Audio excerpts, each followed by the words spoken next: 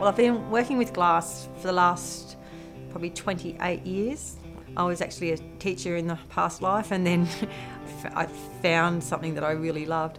And glass is one of those things that um, it's so multifaceted that you know I'm constantly drawn to the um, allure of actually finding something new to do with it.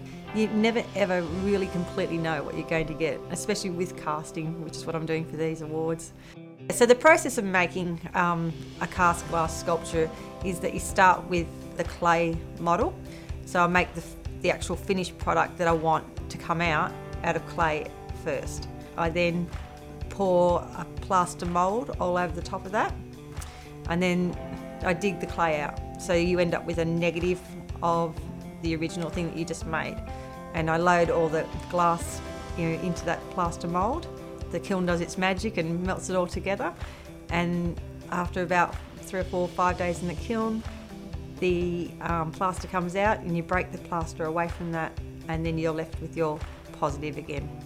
And then you just start to polish it up and then you have your piece. So the design inspiration is basically to represent um, the different colours that we have in Australia, and we've got an amazing diversity here. And I think that the red colour represents the outback.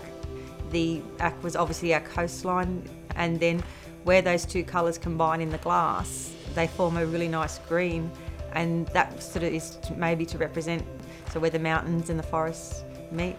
When they selected me for this to do these awards, I was completely overwhelmed. I never ever considered that it would be me that they would choose. It's such an honour to be able to do something like this for you know amazing Australians, and it means a lot. And I think I will feel very proud on the day. And you know, it's great to be Australian. I think it will be my way of sort of contributing, I suppose.